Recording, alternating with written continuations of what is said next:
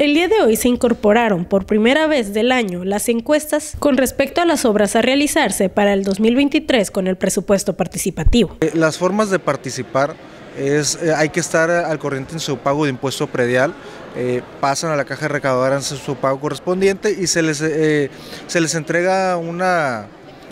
lo que es un acta de la cual pueden ellos este, escoger hasta por tres obras de 10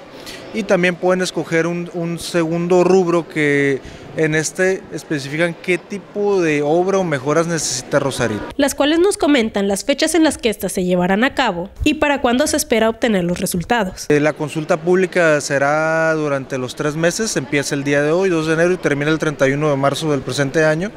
Y los resultados de las obras eh, ganadoras serán posteriormente en el mes de abril. Son tres de las diez obras que principalmente deben ser elegidas por los ciudadanos, ya que a pesar de que en el presupuesto participativo se tuvo varias postulantes, no todas cumplían con ciertos aspectos. La selección de estas diez obras fue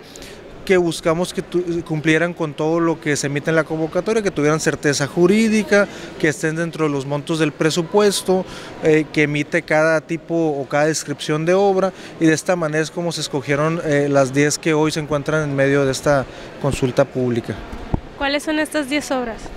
Estas 10 obras eh, son, solicitan lo que es un cajón pluvial en el rancho Chulavista, lo que es un skate park en la unidad de Andrés Luna, eh, también lo que son algunas calles en Cumbres del Mar, en lo que es la Colonia Constitución, eh, también incluye unas banquetas en la Colonia Constitución, este, una o dos calles en lo que es Vista Marina de la Colonia Primo Tapia, eh, otra continuación de calle en Cumbres del Mar y si no me equivoco una calle en lo que es en la Colonia Lucio Blanco.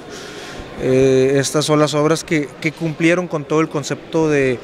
certeza jurídica, como reitero, lo que es también eh, en, cuanto al presupuesto de cada, cada descripción de obra, son las que entraron completamente en, este, en estos rubros. Afortunadamente para este año, se duplicó la participación de la ciudadanía con respecto al presupuesto participativo, ya que en ocasiones anteriores, la población no mostraba sus postulantes para mejoras en la ciudad lo que fueron el 2022 fueron 130 solicitudes de obra para este proyecto, hoy se duplicaron, fueron más de 230. Entonces, la participación de este gobierno ha sido un aumento y creo que es una herramienta fundamental para que eh, en conjunto ciudadanía y gobierno podamos elegir lo que creamos mejor para Rosarito. Las casillas de estas encuestas por parte de Copladem se encuentran en tres ubicaciones. La primera es el Ayuntamiento de Playas de Rosarito, la segunda es la Delegación de Primo Tapia y la tercera es la Secretaría de Seguridad Ciudadana, informando para CNR Televisión Alexa Hernández.